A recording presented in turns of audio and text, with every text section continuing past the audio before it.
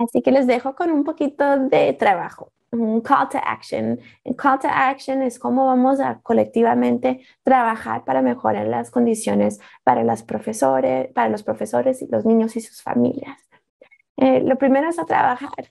Yo creo que dentro de nuestros espacios educativos tenemos nosotros el poder de asesorar cuáles son los puntos débiles en cuanto a la participación, en cuanto Mm, si las familias se sienten respetadas, valoradas, incluidas.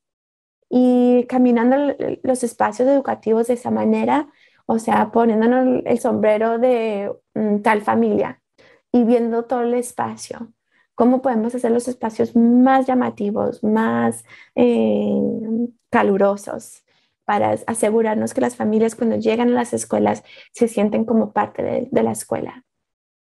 Segundo es escuchar, to listen, ¿no? Em, esto es una destreza muy difícil, ¿no? Escuchar no solo tomar la información, pero es poder tomar esa información y reflexionar con esa información según quién soy yo y quién entiendo a la persona que estoy escuchando. Yo creo que como profesora eso es una de las eh, destrezas más importantes que tenemos que desarrollar.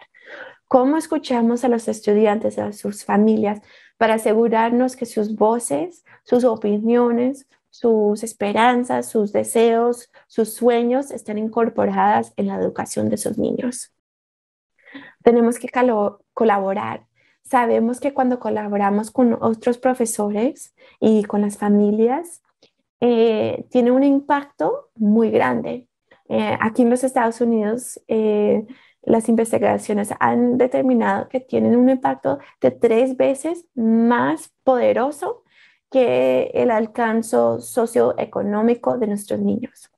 Y cuando las profesoras trabajamos de colaboración, sabemos que puede mejorar la motivación de nuestros estudiantes, la concentración de ellos, su persistencia y su habilidad de ser parte de su propio eh, aprendizaje. Tenemos que seguir abogando. Yo creo que mm, aquí en los Estados Unidos hay un cambio político que ahora eh, hace esta vocación más como un compacto, un acuerdo dentro de los que hacen la póliza y los que estamos en el salón todos los días enseñando. Nosotros como profesores tenemos la, la responsabilidad de escuchar a nuestros estudiantes, de sus familias, saber cuáles son las necesidades y poder comunicar eso a las personas que toman las decisiones.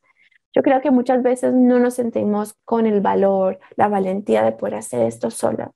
Y les quiero recordar que tenemos que trabajar en colaboración juntos para poder alcanzar estas metas que tenemos, porque la valentía es necesaria para poder determinar cuáles son las razones a, la raíz, al sistema raíz de estas inequidades.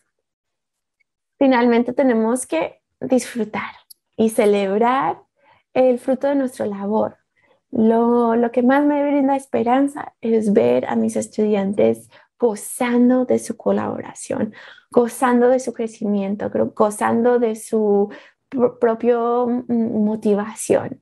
Y yo trato de tomar cada momento eh, para poder eh, disfrutar y celebrar.